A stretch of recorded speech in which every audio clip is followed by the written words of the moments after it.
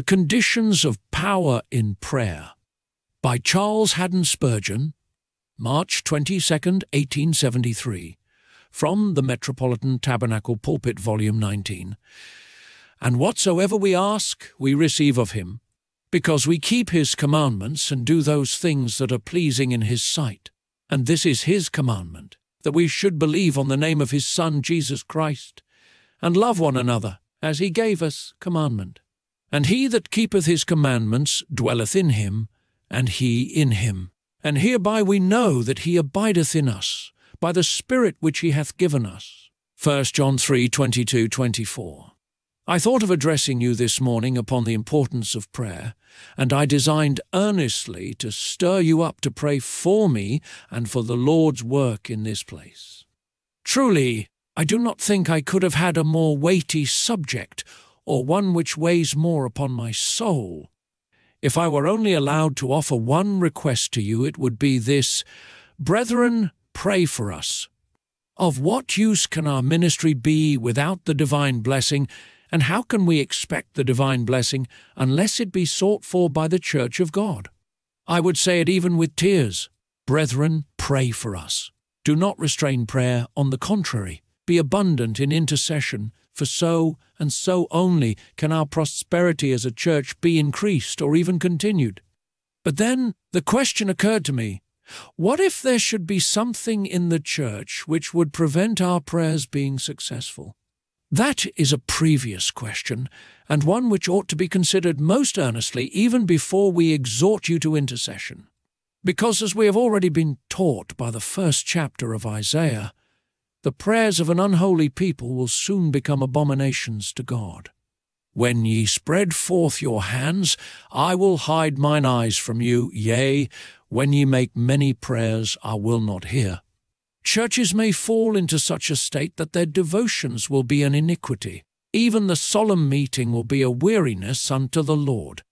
There may be evils in the heart of any one of us which may render it impossible for God, in consistency with his own character and attributes, to have any regard to our intercessions. If we regard iniquity in our hearts, the Lord will not hear us. According to our text, there are some things which are essential to prevalence in prayer. God will hear all true prayer, but there are certain things which the people of God must possess, or else their prayers will fall short of the mark.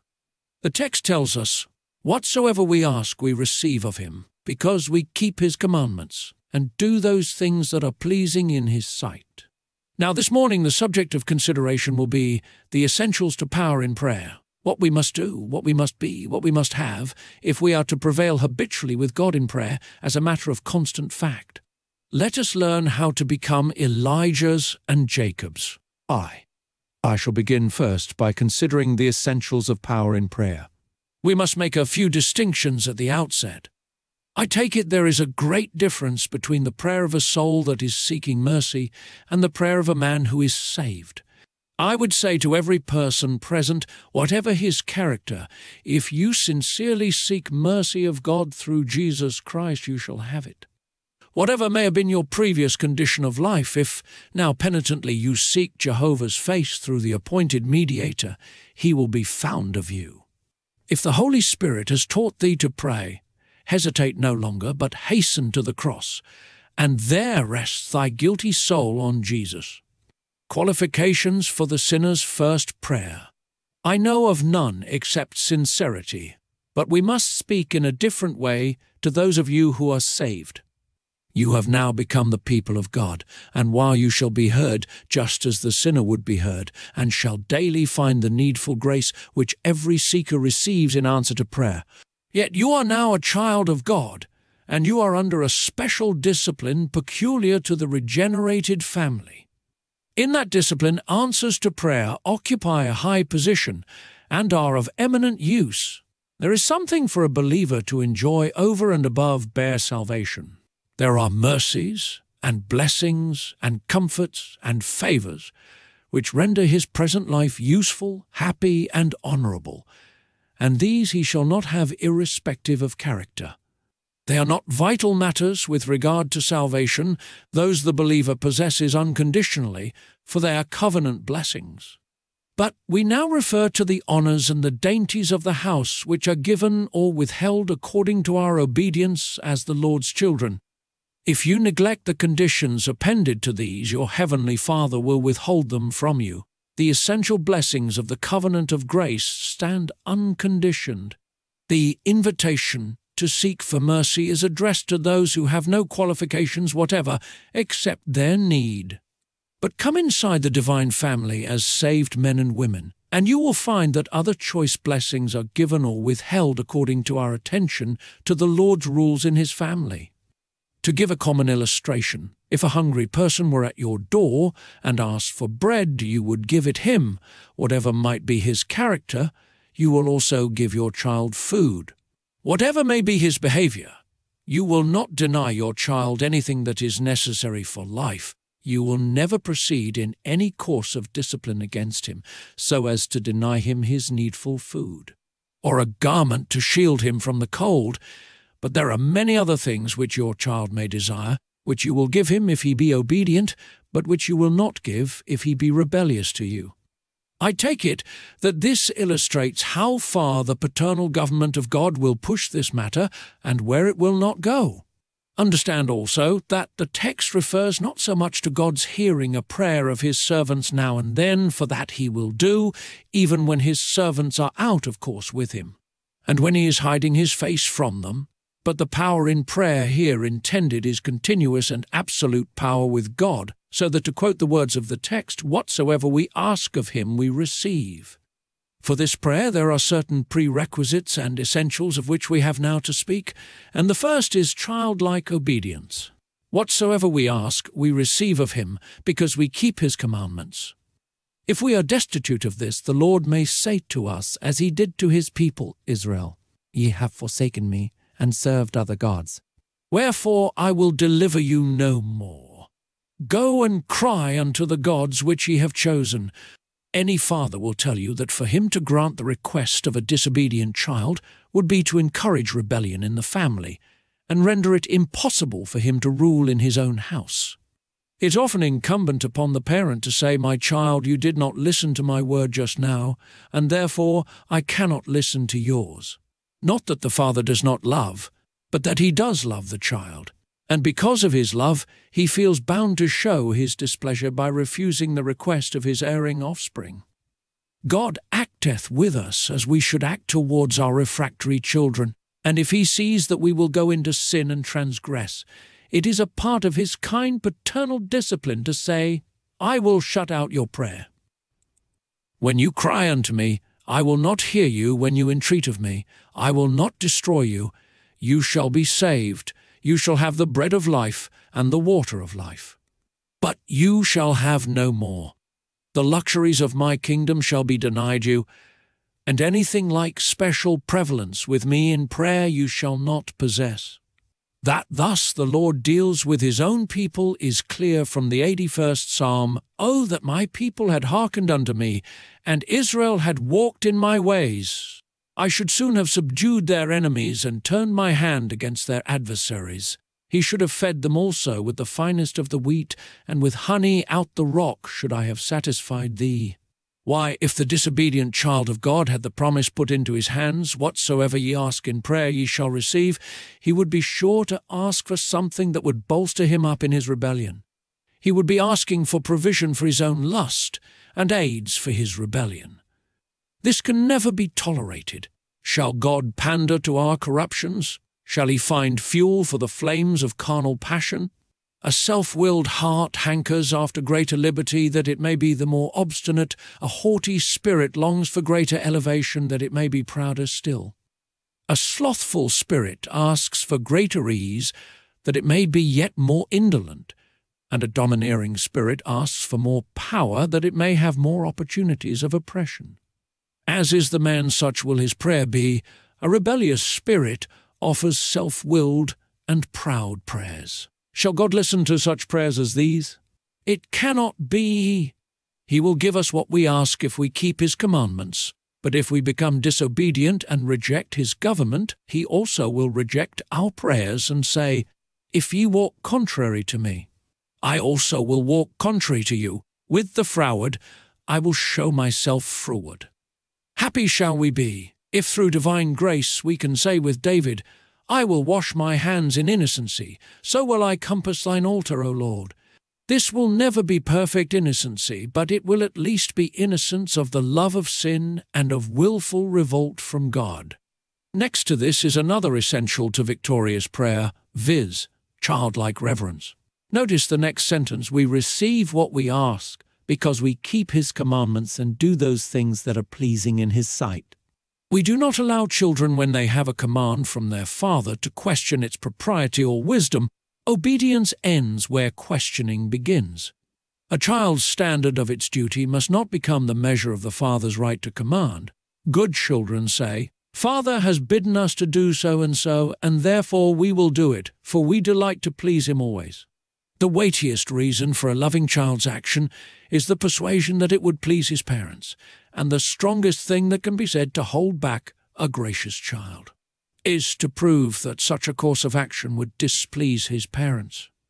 It is precisely so with us towards God, who is a perfect parent, and therefore we may, without fear of mistake, always make his pleasure the rule of right, while the rule of wrong may safely remain that which would displease him. Suppose any of us should be self willed and say, I shall not do what pleases God, I shall do what pleases myself. Then, observe, what would be the nature of our prayers? Our prayers might then be summed up in the request, Let me have my own way. And can we expect God to consent to that? Are we to be not only lords over God's heritage, but over God Himself? Would you have the Almighty resign the throne to place a proud mortal there? If you have a child in your house who has no respect whatever for his father, but who says, I want to have my own way in all things. If he comes to you with a request, will you stoop to him? Will you allow him to dictate to you and forget the honour due to you? Will you say, Yes, my dear child, I recognize your importance. You shall be Lord in the house, and whatsoever you ask for you shall have.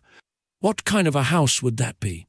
I fear there are some such houses, for there are foolish parents who suffer their children to become their masters and so make a rod for their own backs. But God's house is not ordered so. He will not listen to his self willed children, except it be to hear them in anger and to answer them in wrath. Remember how he heard the prayer of Israel for flesh. And when the meat was yet in their mouths, it became a curse to them. Many persons are chastened by obtaining their own desires, even as backsliders are filled with their own devices. We must have a childlike reverence of God, so that we feel, Lord, if what I ask for does not please Thee, neither would it please me. My desires are put into Thy hands to be corrected. Strike the pen through every petition that I offer which is not right, and, Lord, put in whatever I have omitted, even though I might not have desired it had I recollected it. Good Lord, if I ought to have desired it, hear me as if I had desired it, not as I will, but as Thou wilt. Now I think you can see that this yielding spirit is essential to continual prevalence with God in prayer. The reverse is a sure bar to eminence in supplication. The Lord will be reverenced by those who are round about him. They must have an eye to his pleasure in all that they do and all that they ask, or he will not look upon them with favour. In the third place, the text suggests the necessity of childlike trust, and this is his commandment, that we should believe on the name of his Son Jesus Christ. Everywhere in Scripture, faith in God is spoken of as necessary to successful prayer. We must believe that God is, and that He is the rewarder of them that diligently seek Him. Or else we have not prayed at all, but, in proportion to our faith, will be the success of our prayer. It is a standing rule of the kingdom, according to thy faith, so be it unto thee. Remember how the Holy Spirit speaks by the mouth of the Apostle James. If any of you lack wisdom, let him ask of God, that giveth to all men liberally, and upbraideth not, and it shall be given him. But let him ask in faith, nothing wavering. For he that wavereth is like a wave of the sea driven with the wind and tossed. For let not that man think that he shall receive anything of the Lord. The text speaks of faith in the name of his Son Jesus Christ, which I understand to mean faith in his declared character, faith in his gospel, faith in the truth concerning his substitution and salvation. Or it may mean faith in the authority of Christ, so that when I plead with God and say, Do it in the name of Jesus, I mean, Do for me as thou wouldst have done for Jesus. For I am authorized by him to use his name, do it for me as thou wouldst have done it for him. He that can pray with faith in the name cannot fail. For the Lord Jesus has said, If ye ask anything in my name, I will do it. But there must be faith. And if there be no faith, we cannot expect to be heard. Do you not see that? Let us come back to our family similitudes again. Suppose a child in the house does not believe his father's word, and is constantly saying that he finds his mind full of doubts as to his father's truthfulness. Suppose, indeed, that he tells his brothers and sisters that his faith in his father is very weak. He mentions that wretched fact, but is not at all shocked that he should say such a thing, but he rather feels that he ought to be pitied, as if it were an infirmity which he could not avoid. Somehow or other he does not believe that his father speaks the truth, and he declares that, though he tries to believe his father's promise, yet he cannot. I think a father so basely distrusted would not be in a very great hurry to grant such a son's requests. Indeed, it is very probable that the petitions of the mistrustful son would be such as could not be complied with, even if his father were willing to do so, since they would amount to a gratification of his own unbelief, and a dishonour to his parent. For instance, suppose this child should take it into his head to doubt whether his father would provide him with his daily food. He might then come to his hither and say, Father, give me enough money to last for the next ten years, for I shall then be a man, and shall be able to provide for myself. Give me money down to quiet my fears, for I am in great anxiety. The father replies, My son, what should I do that for?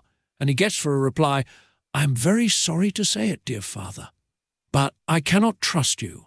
I have such a weak faith in you and your love that I am afraid one of these days you will leave me to starve, and therefore I should like to have something sure in the bank. Which of you fathers would listen to a child's request if he sought such a thing? You would feel grieved that thoughts so dishonouring to yourself should pass through the mind of one of your own beloved ones but you would not and could not give way to them. Let me then ask you to apply the parable to yourselves. Did you never offer requests which were of much the same character? You have been unable to trust God to give you day by day your daily bread, and therefore you have been craving for what you call some provision for the future. You want a more trusty provider than Providence, a better security than God's promise. You are unable to trust your Heavenly Father's word. A few bonds of some half bankrupt foreign government you consider to be far more reliable. You can trust the Sultan of Turkey or the Viceroy of Egypt, but not the God of the whole earth. In a thousand ways we insult the Lord by imagining the things which are seen to be more substantial than his unseen omnipotence. We ask God to give us at once what we do not require at present and may never need at all. At bottom, the reason for such desires may be found in a disgraceful distrust of Him which makes us imagine that great stores are needful to ensure our being provided for. Brethren, are you not to blame here? And do you expect the Lord to aid and abet your folly? Shall God pander to your distrust? Shall he give you a heap of cankering gold and silver for thieves to steal and chests of garments to feed moths? Would you have the Lord act as if he admitted the correctness of your suspicions and confessed to unfaithfulness? God forbid. Expect not, therefore, to be heard when your prayer is suggested by an unbelieving heart. Commit thy way unto the Lord, trust also in him, and he shall bring it to pass. The next essential to continued success in prayer is childlike love, that we should believe on the name of His Son, Jesus Christ, and love one another as He gave us commandment. The great commandment after faith is love. As it is said of God, God is love. So may we say that Christianity is love. If we were each one incarnations of love, we should have attained to the complete likeness of Christ. We should abound in love to God, love to Christ, love to the church, love to sinners, and love to men everywhere. When a man has no love to God, he is in the condition of a child without love to his father. Shall his father promise absolutely to fulfill all the desires of his unloving, unfilial heart? Or, if a child has no love to his brothers and sisters, shall the father trust him with an absolute promise and say, Ask, and it shall be given thee? Why, the unloving son would impoverish the whole family by his selfish demands. Regardless of all the rest of the household, he would only care to indulge his own passions. His request would ere long be, Father, give me all the inheritance, or Father, regulate the home to suit me and make all my brothers submit to my wishes. Vain of his personal appearance, like Absalom, who was proud of his hair, he would soon seek the kingdom for himself. Few Josephs can wear the garment of many colours and not become household tyrants. Who would allow a prodigal to run off with the estate? Who would be so unwise as to install a greedy, domineering brother in the seat of honour above his brethren? Hence you see that selfishness cannot be trusted with power in prayer. Unloving spirits, that love neither God nor men, cannot be trusted with great, broad, unlimited promises. If God is to hear us, we must love God and love our fellow men, for when we love God, we shall not pray for anything that would not honour God, and shall not wish to see anything happen to us which would not also bless our brethren. Our hearts will beat true to God and to his creatures, and we shall not be wrapped up in ourselves. You must get rid of selfishness before God can trust you with the keys of heaven, but when self is dead, then he will enable you to unlock his treasuries, and as a prince shall you have power with God and prevail. Next to this, we must have childlike ways as well. Read the next verse. He that keepeth his commandments dwelleth in him, and he in him. It is one of a child's ways to love its home.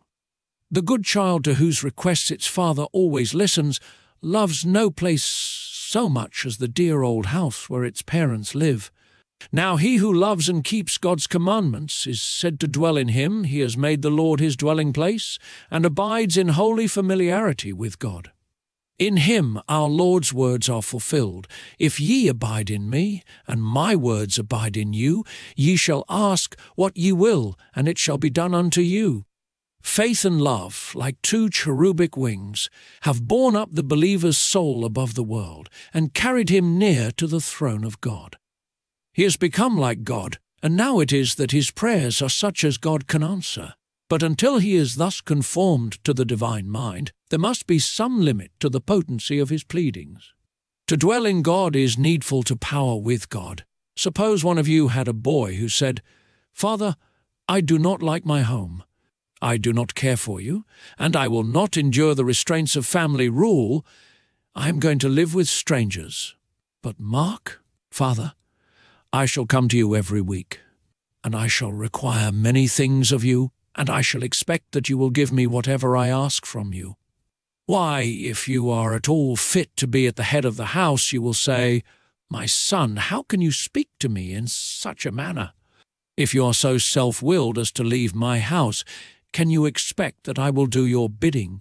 If you utterly disregard me, can you expect me to support you in your cruel unkindness and wicked insubordination? No, my son, if you will not remain with me and own me as a father, I cannot promise you anything. And so is it with God. If we will dwell with him and commune with him, he will give us all things. If we love as he should be loved, and trust him as he ought to be trusted, then he will hear our requests but if not, it is not reasonable to expect it. Indeed, it would be a slur upon the divine character for him to fulfill unholy desires and gratify evil whims. Delight thyself also in the Lord, and he will give thee the desires of thine heart. But if thou hast no delight in God, and he is not thy dwelling place, he will not answer thee. He may give thee the bread of affliction and the water of affliction, and make life bitter to thee, but certainly he will not give thee what thy heart desires. One thing more, it appears from the text that we must have a childlike spirit, for Hereby we know that he abideth in as. By the Spirit which he hath given as, what is this, but the Spirit of adoption?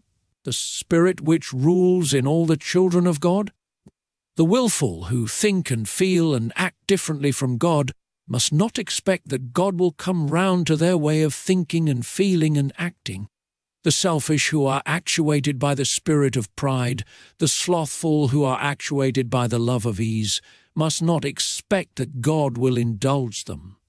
The Holy Spirit, if He rules in us, will subordinate our nature to His own sway, and then the prayers which spring out of our renewed hearts will be in keeping with the will of God, and such prayers will naturally be heard. No parent would think of listening to a wilful child, to a child that said, I know my father does not wish me to have this, but I will have it. Why, as a man, you would not thus be twisted about by an upstart youngster. Shall God grant us that which we ask for when it is contrary to his holy mind? It must not be. Such a possibility is not conceivable. The same mind must be in us which was also in Christ Jesus, and then we shall be able to say, I know that thou hearest me always. But we must pass on and occupy your attention for a few minutes with another branch of the same subject. Second, in the second place, we shall notice the prevalence of these essential things. If they be in us and abound, our prayers cannot be barren or unprofitable. First, if we have faith in God, there is no question about God's hearing our prayer. If we can plead in faith the name and blood of Jesus, we must obtain answers of peace.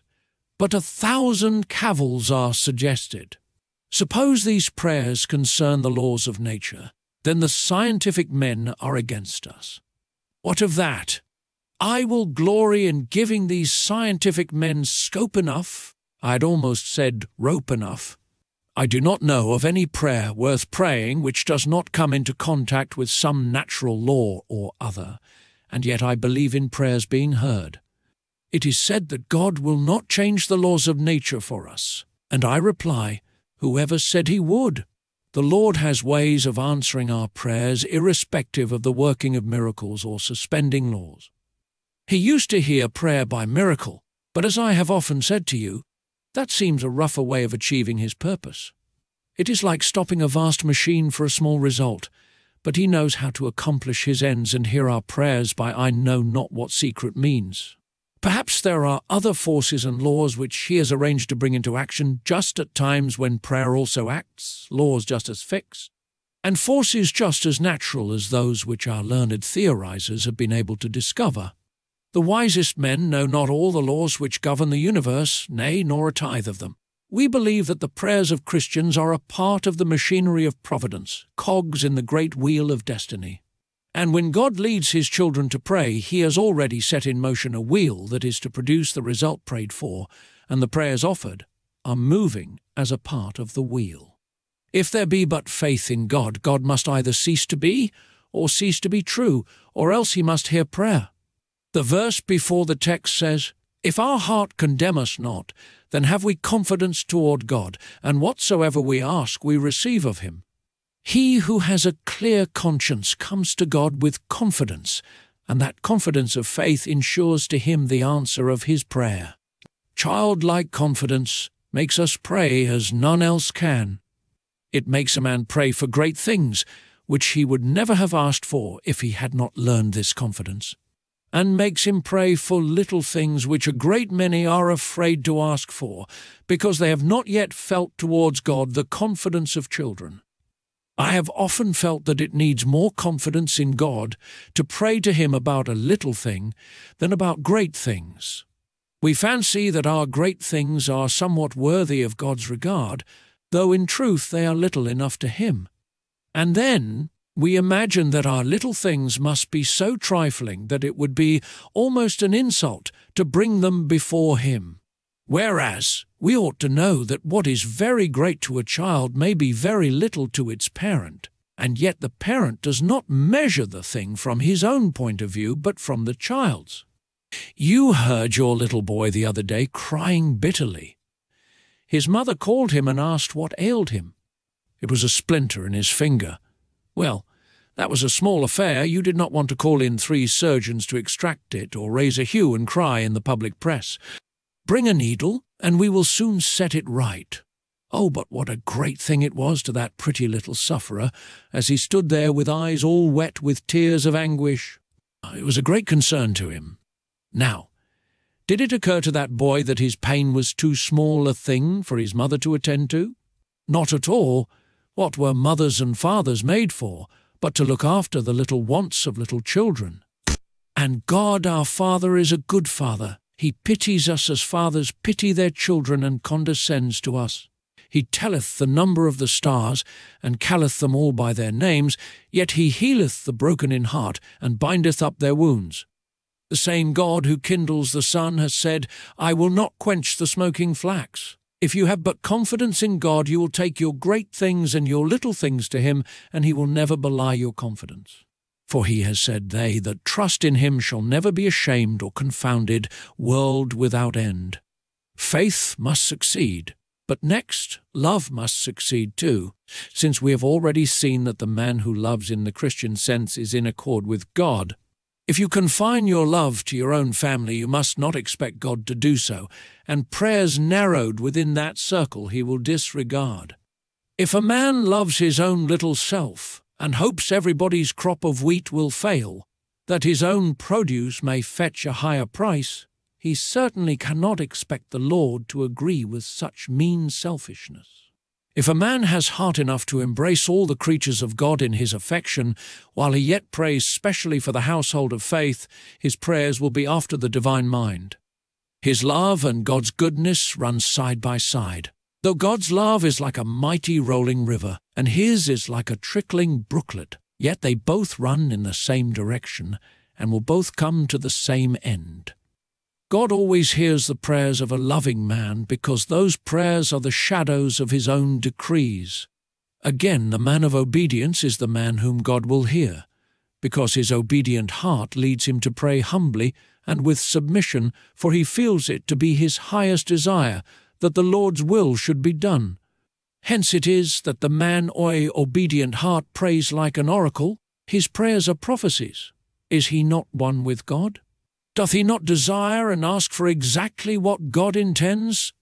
How can a prayer shot from such a bow ever fail to reach its target? If thy soul get into accord with God's soul, thou wilt wish God's own wishes. The difficulty is that we do not keep, as the word is, en rapport with God, but if we did, then we should strike the same note as God strides. And though his would sound like thunder, and ours as a whisper, yet there would be a perfect unison, the note struck by prayer on earth would coincide with that which sounds forth from the decrees in heaven. Again, the man who lives in fellowship with God will assuredly speed in prayer, because if he dwells in God, and God dwells in him, he will desire what God desires. The believer in communion with the Lord desires man's good, and so does God. He desires Christ's glory, and so does God. He desires the church's prosperity, and so does God. He desires himself to be a pattern of holiness, and God desires it too. If that man at any time has a desire which is not according to God's will, it is the result of ignorance, seeing that man is but man and not God. Even when he is at the best, he must err. But he provides for this defect by the form of his prayer, which always has this addendum at the end of it Lord, if I have asked in this my prayer for anything which is not according to thy mind, I beseech thee. Do not regard me, and if any wish which I have expressed to thee, even though it be the desire which burns in my bosom above all other wishes, be a wish that is not right in thy sight, regard me not, my Father, but, in thy infinite love and compassion, do something better for thy servant than thy servant knows how to ask. Now, when a prayer is after that fashion, how can it fail? The Lord looks out of the windows of heaven and sees such a prayer coming to him, just as Noah saw the dove returning to the ark. And he puts out his hand to that prayer, and as Noah plucked the dove into the ark, so does God pluck that prayer in unto him, and put it into his own bosom, and say, Thou earnest out of my bosom, and I welcome thee back to me, my spirit indited thee, therefore will I answer thee. And here, again, let us say, our text speaks of the Christian man as being filled with God's Spirit. We know that he abideth in us by the Spirit which he hath given us. Who knows the mind of a man but the Spirit of a man? So, who knows the things of God but the Spirit of God? And if the Spirit of God dwells in us, then he tells us what God's mind is. He makes intercession in the saints according to the will of God. It is sometimes imagined that men who have prevalence in prayer can pray for what they like, but I can assure you any one of these will tell you that that is not so.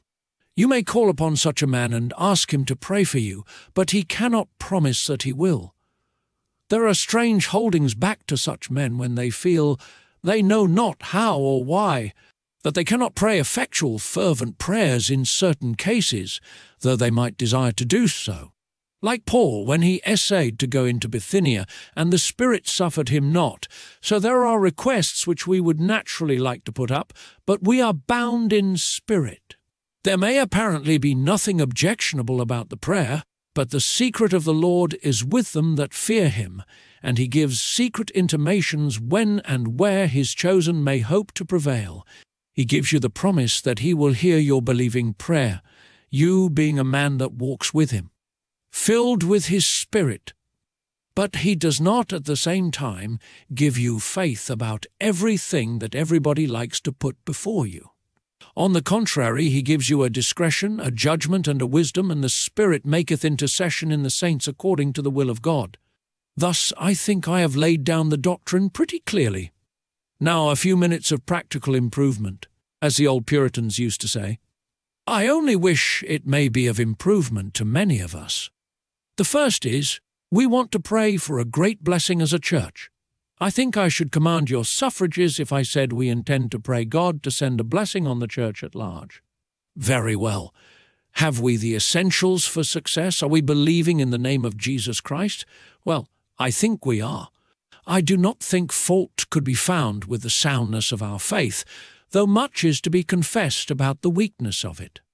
Let us pass on to the next question.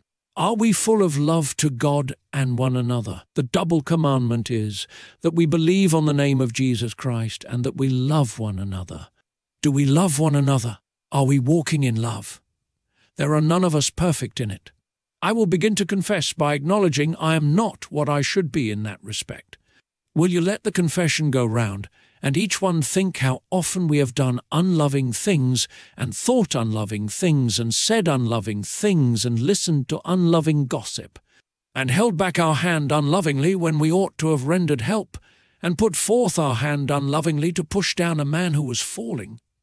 If in the church of God there is a lack of love, we cannot expect prayer to be heard, for God will say, You ask for prosperity. What for? To add more to a community which does not already love itself. You ask for conversions. What? To bring in others to join an unloving community. Do you expect God to save sinners whom you do not love, and to convert souls whom you do not care a bit about? We must love souls into Christ, for, under God's Holy Spirit, the great instrument for the conquest of the world is love, and if Christians will love more than Mohammedans do and Jews do, they will overcome Mohammedans and Jews, and if they show less love, Mohammedans and Jews will overcome them. The sword of the Spirit, which is the Word of God, is the master weapon, and next to that is the loving carriage and generous conversation of Christians towards their fellow men. How much of that have we got? Shall I say how little? Next, are we doing that which is pleasing in God's sight? We cannot expect answers to prayer if we are not. Put the inquiry to yourselves all round. Let each church member especially answer that question. Have you been doing lately that which you would like Jesus Christ to see? Is your household ordered in such a way that it pleases God? Suppose Jesus Christ had visited your house this week, uninvited and unexpected, what would he have thought of that which he would have seen? Oh, says one, I know so and so acts very inconsistently. Sir, I pray you think of yourself. There is the point. Correct yourself. Unless the members of God's church do that which is pleasing in his sight, they bar the door against prosperity, they prevent the prayers of the church from succeeding. Who wishes to be the man that stands in the way of the prosperity of God's church through inconsistency of conduct? Who would be so guilty? God forgive some of you. We could speak of some even weeping, for, alas, though they profess to be the followers of Christ, they are so inconsistent that they are not friends but enemies of the cross of Christ. The next question is, do we dwell in God? The text says that if we keep his commandments, God dwelleth in us, and we in him. Is that so? I mean, during the day, do we think of God? In our business, are we still with God? A Christian is not to run unto God in the morning and again at night, and use him as a shelter and a makeshift. As people do of an arch or a portico which they run under in a shower of rain. But we are to dwell in God, and live in him, from the rising of the sun until the going down thereof, making him our daily meditation, and walking as in his sight, feeling evermore, Thou God seest me. How is it with you, dear friends? Oh, let the question go from pew to pew and heart to heart, and mind, let each one answer for himself. Lastly, does the Spirit of God actuate us, or is it another spirit? Do we wait upon God and say, Lord, let thy Spirit tell me what to say in this case and what to do. Rule my judgment, subdue my passions, keep down my baser impulses, and let thy Spirit guide me. Lord, be thou to me better than myself, be soul and life to me, and in the triple kingdom of my spirit, soul, and body, good Lord, be thou supreme master, that in every province of my nature thy law may be set up, and thy will may be regarded. We should have a mighty church if we were all of this mind, but the mixed multitude are with us, the mixed multitude that came out of Egypt, and these fall a lusting, the mischief always begins with them. God save us as a church from losing his presence. The mixed multitude must be with us to try us, for the Lord hath said, Let both grow together till the harvest. And if we try to root up the tares, we should root up the wheat also. Yet at any rate, let us pray God to make the wheat be the stronger. One of two things always happens in a church either the wheat chokes the weeds, or the weeds choke the wheat. God grant that the wheat may overtop the weeds in our case. God grant grace to his servants to be strong enough to overcome the evil which surrounds them, and, having done all, to stand to the praise of the glory of his grace, who also hath made us accepted in the beloved. The Lord bless you, and be with you evermore. Amen and amen. Thank you for listening.